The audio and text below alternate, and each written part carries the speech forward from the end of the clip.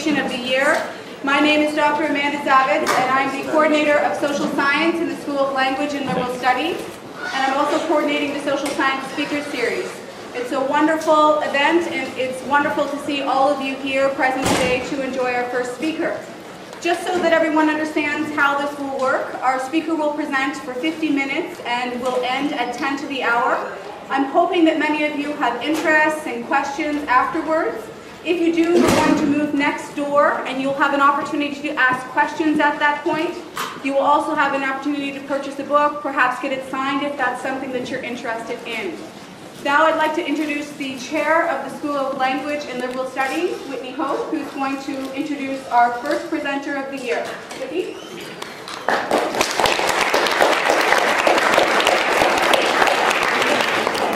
Well, it's great to see such a good turnout at the start of another year of the Social Science Speaker Series, which was such a great success last year.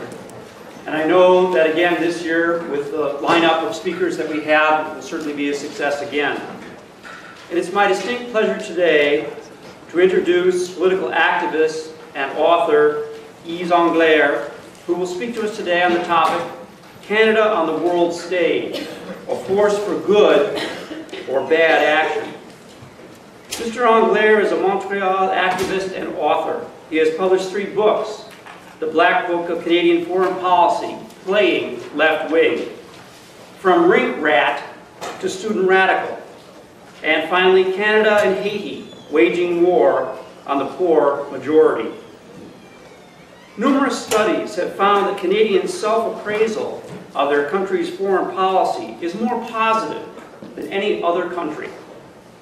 Yet it's Mr. Engler's thesis that there is a dark side to Canadian foreign policy, and he will speak to that dark side today. Mr. Engler's talk is especially apposite at this time, inasmuch as we have recently been informed that in terms of Canadian, foreign policy, Canada is the country that dare not speak its name. Mr.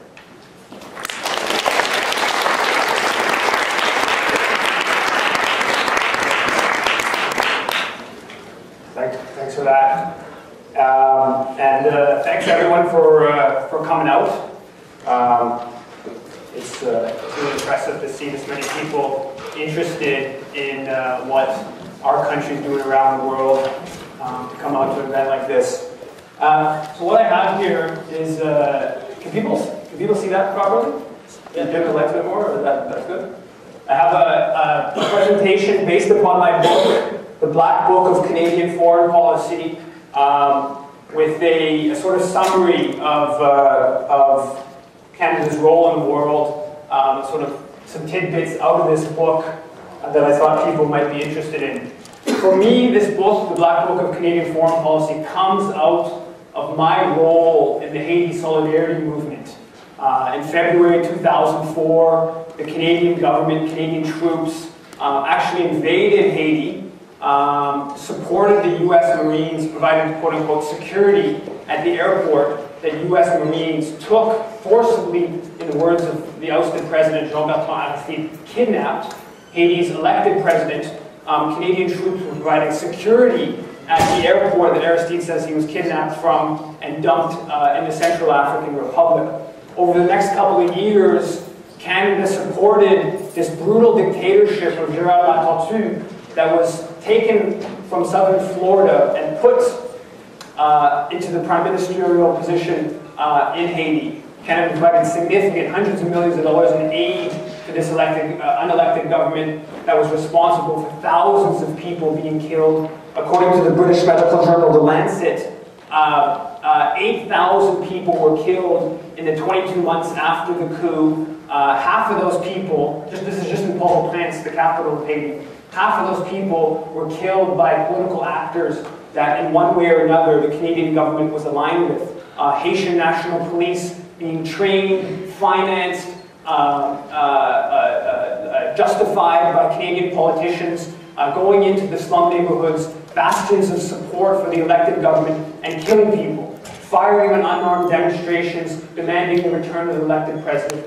And this is going on uh, with all elements of the Canadian state the military, our aid, our diplomats justifying it, supporting this brutal crime uh, against the Haitian people. So for me, uh, this book, The Black Book of Canadian Foreign Policy, comes out of participating in this Haiti solidarity movement, in participating in this movement in Montreal and across the country to say no to what Canada was doing in Haiti.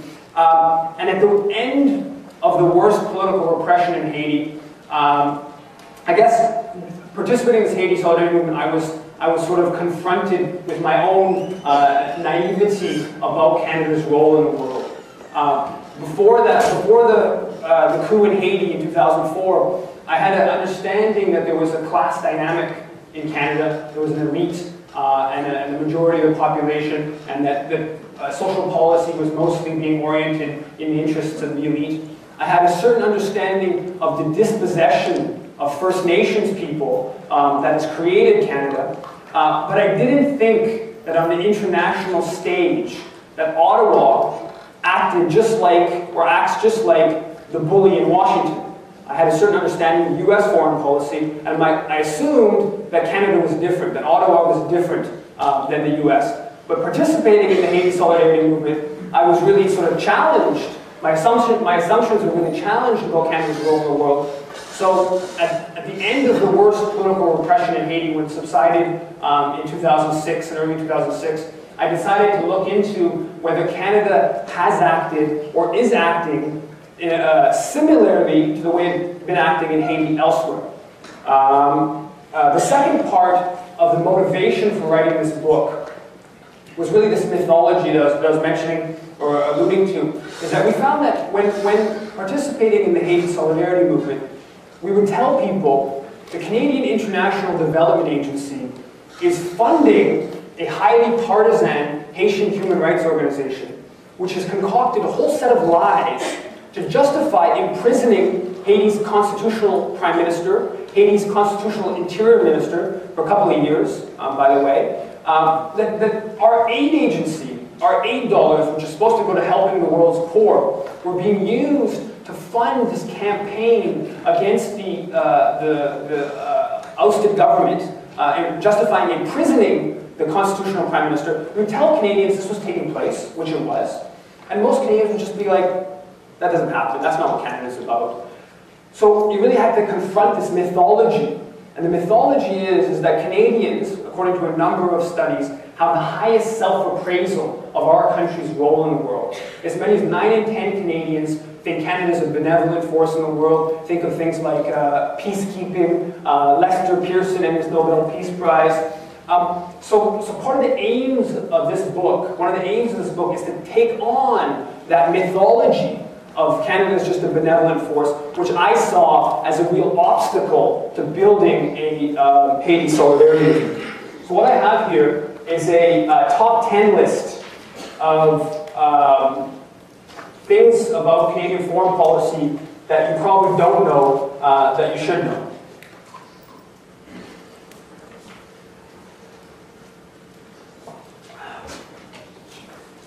In 1917, the Royal Bank loaned $200,000 uh, to a Costa Rican dictator by the name of Federico Tinoco. Just as Tinoco was about to leave office, uh, there was a popular uprising in the country. He was about to flee. Uh, Canada, Canadian Bank made this loan. Uh, Tinoco, as uh, uh, dictators are, are, known to do, uh, took the money with him when he left. The Royal Bank, of course, wanted their money back. They wanted um, the, the new Costa Rican government to repay the debt uh, uh, Tinoco, or sorry, the new Costa Rican government said, no, this is an odious debt. Royal Bank knew that Tinoco was about to leave. It's not up to the Costa Rican, pay, uh, Costa Rican people to pay back what a dictator stole uh, when the Royal Bank knew he was probably take the money.